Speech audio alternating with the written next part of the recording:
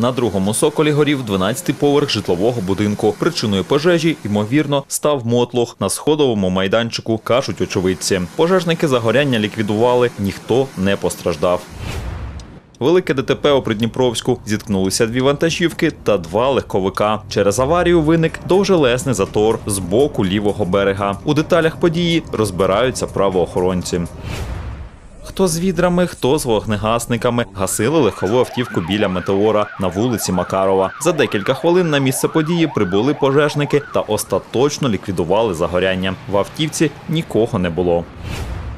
Граната в житловому будинку в п'ятиповерхівці на Слобожанському проспекті в середу зранку жителі знайшли вибуховий пристрій і відразу повідомили в поліцію. Правоохоронці евакуювали цілий під'їзд. А за 40 хвилин вибухотехніки повідомили, граната не бойова, а страйкбольна з фарбою всередині. Поліцейські розшукують жартівника.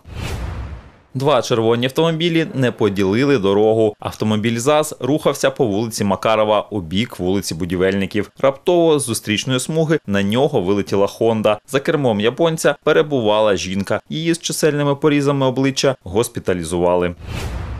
Врятувала пухнастого. Ще на початку червня жителька Підгороднього знайшла собаку, яка стікала кров'ю та повільно помирала. Поранення тварині ймовірно нанесла людина. Песику надали медичну допомогу та виходили, а зараз готові віддати в гарні руки.